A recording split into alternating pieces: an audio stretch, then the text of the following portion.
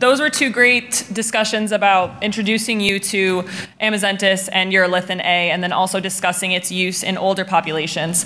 Um, but for me, my relationship, which I do have to disclose, I am an employee of Amazentis. My relationship with them began um, because I am a sports dietitian working with an elite basketball team in the NBA.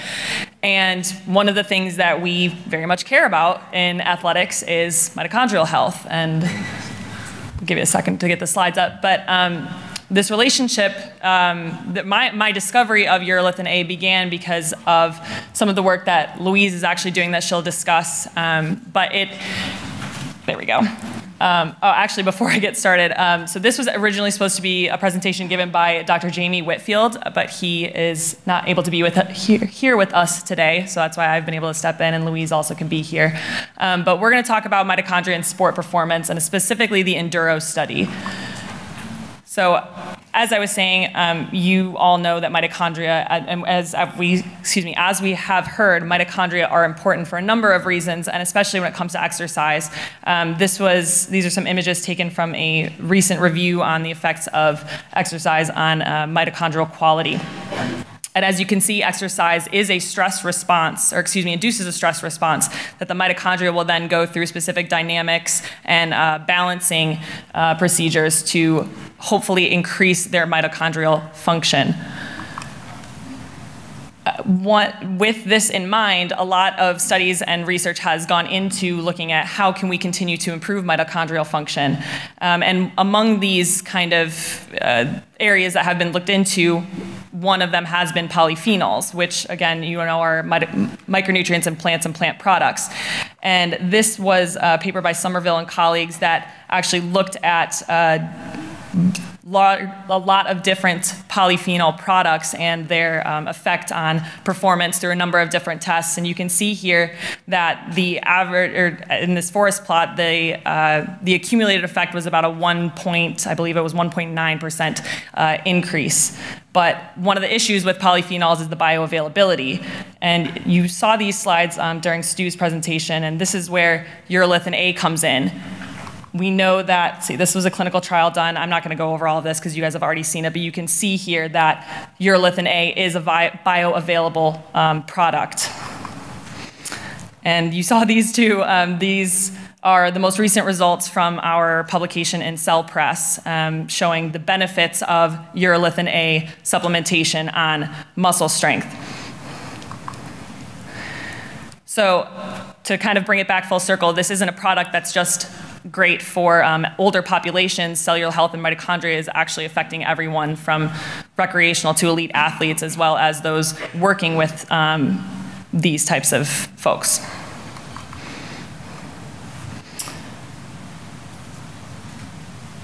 Sorry.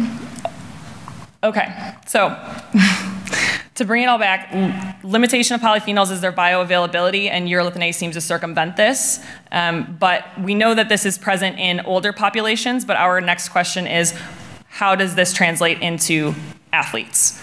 So I'm actually gonna hand it over to Louise to get into the Enduro study.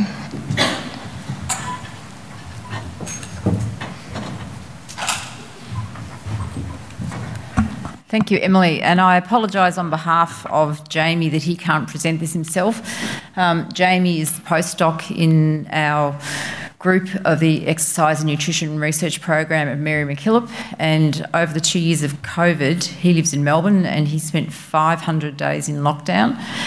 And then he came to the US and got COVID. um, so the first time I saw these slides was about three minutes ago. um, so I'm going to do the best to speak to them. So we were approached by Amazentis to um, see our interest in undertaking this study. And I have to say at first, I'm not really usually interested in doing um, industry studies because I have worries about the perception of the bias and whether the companies are really interested in the science. But it wasn't until we sat down and, and spoke with the company and saw both the commitment to science and the underlying story that we became interested. So we talked about a model in which we would try and induce um, mitochondrial biogenesis in a group of athletes and wonder whether we could amplify the outcome by increasing the rate of mitophagy so that the rate of the improvement in the better mitochondria would then translate into better um, muscle function and performance. We came up with um, the Enduro study, so um, I can't do a study unless it's got a cool name. And so we were doing endurance athletes who took urolithin A, see what I did, and came up with um, our project. So basically, we've um, recruited middle distance runners. We were interested in a group that um, would normally do um, altitude training as one of the key periodised parts of their program. And we also wanted a group that could um, compete in an event that was short enough that they'd be able to do at um, um, 110% of performance before and after altitude. And we decided that we would um, break it into two groups. A group we would call the elite group, that we were going to concentrate on the performance outcomes, and then in a group that um, we called them sub-elite, who would be prepared to give up a, a, muscle biopsy so that we could see what was happening at that um, cellular level. Um, as it turned out, some of our better runners were happy to have a biopsy. So when I presented the data, we've called them still the sub-elite and the elite group because that's how it was described in the ethics application. But as, as it turns out, there's quite a bit of an overlap in the um, calibre and the physiological characteristics of the two groups.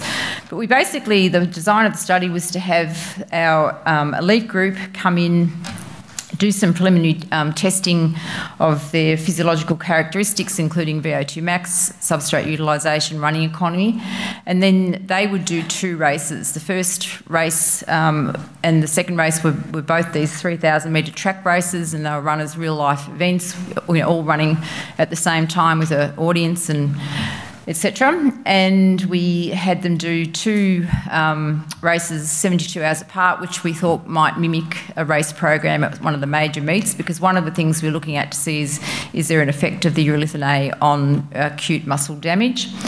And then they would go to altitude. In the altitude camp, each of the groups does one day a week a downhill running session.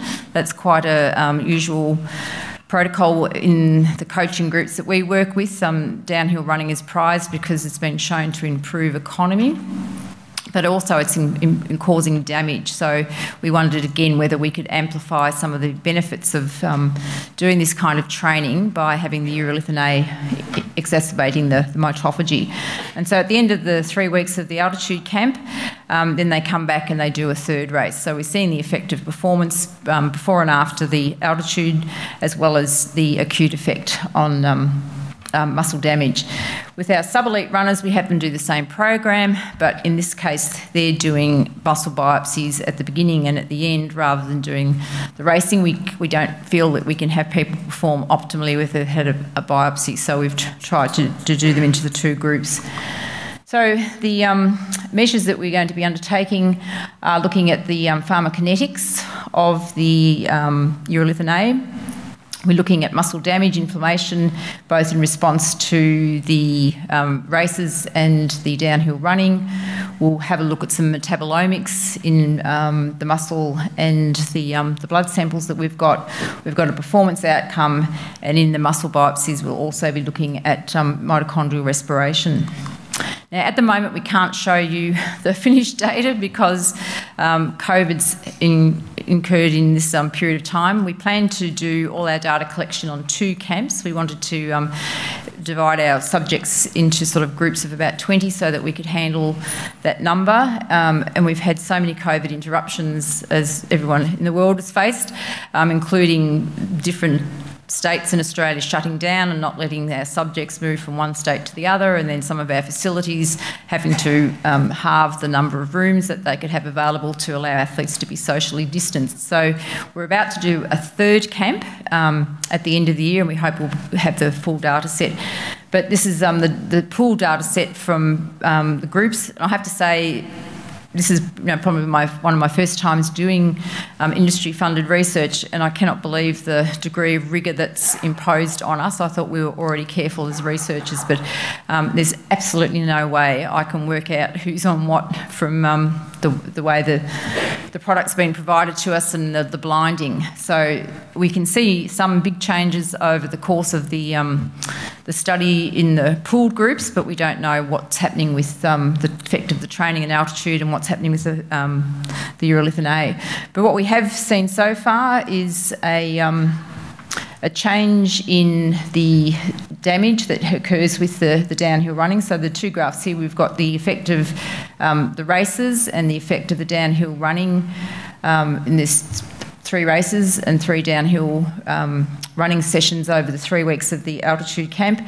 Um, and we do see that there's a reduction in the CK production on the second and the third weeks of um, the altitude camp, we don't see much change um, with the changes with the, the race between um, races one, two, and three. This is looking at um, 24 to 36 hours post each of those sessions.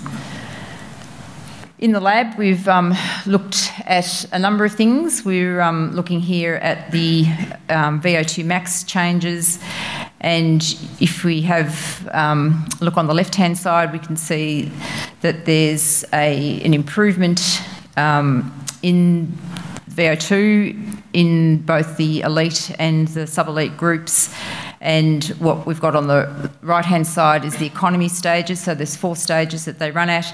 And you can see that there's actually, if you can under, see underneath what's happening with those, all the individual cases, there is an increase in oxygen use over the um, course of the four, four weeks between the, the two sessions. Um, that's because, as we'll see in a minute, there's a change in substrate utilisation at those same speeds.